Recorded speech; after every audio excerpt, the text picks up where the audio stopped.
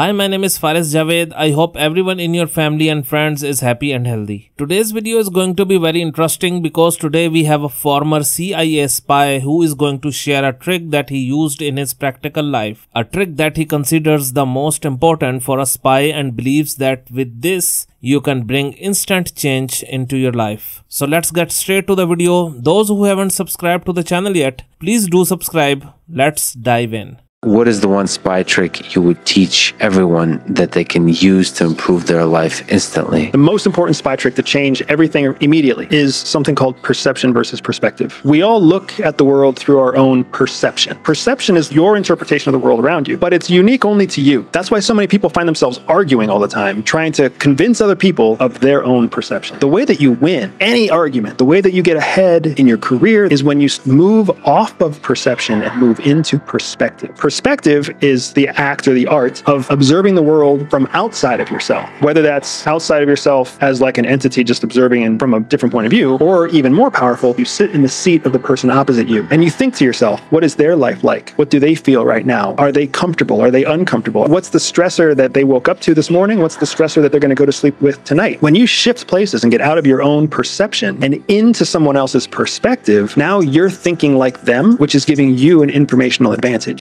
After watching this video, I felt like the person who is taking this interview is a spy. But what I understood from their words is that you have to keep your mind open. And it's absolutely right that putting yourself in someone else's shoes and thinking is a very difficult task.